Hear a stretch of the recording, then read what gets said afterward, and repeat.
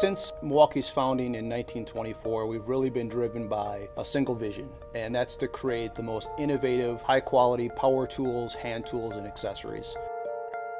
Milwaukee has uh, experienced rapid, even explosive growth, 20% year over year for the last five years.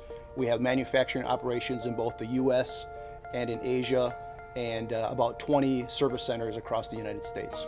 As we've continued to grow as a company, uh, the product development cycle has spread from the US out across Asia where we have both manufacturing and engineering. As our pace of new product development has increased, the inefficiencies in the way that we've worked have also increased. There's a high amount of latency between, between Milwaukee and China, and we had problems where users couldn't open files and they were having running into problems. Um, it would take too long, they would just give up.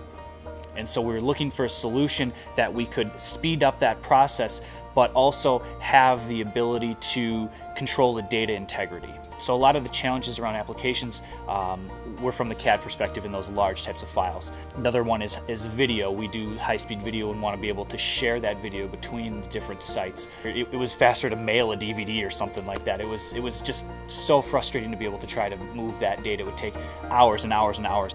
As part of our PLM initiatives, we needed a collaboration solution um, that would allow us to share these large uh, engineering files uh, between multiple locations, whether that's domestically or internationally.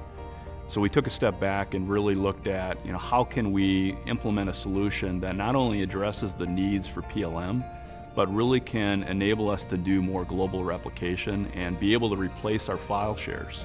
We wanted to make sure that you know, as different departments and users were accessing the same file, that they weren't stepping on each other and overwriting somebody's changes. So that when someone opens a file in any location, it's locked across and we don't have version mismatch and have potential corruption that can occur. We set out to understand how we could provide that reliable, fast access and create a single source of truth for users around the globe.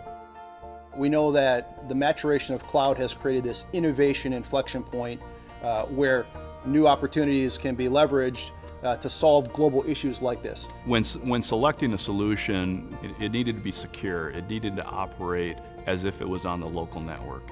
Uh, it needed to replicate. It needed to be encrypted. We did a force ranking session with the vendors that Gartner had recommended, and by far Panzura came out ahead. As we rolled this out to the business and expanded this to Asia, they were accessing a video that would take um, 30, 40 minutes. And now because that was cached locally, it took seconds. And they were just blown away. It was a game changer. There's no way that we could support the growth of our business with the file access times that we've experienced in the past. And so for us, Panzura was a must. With our Panzura solution, uh, we've been able to realize a number of key benefits. For example, our speed to market. Being able to maintain um, an agile infrastructure uh, and keep the pace with the business as they're developing new products. Once we started using the cloud, we were able to see a lot of the benefits of the cloud, such as the low-cost storage that Amazon and other providers offer, um, the geo-redundancy that's also in place um, by having your data spread across different data centers in different regions. The Panzura solution was really a game changer for us.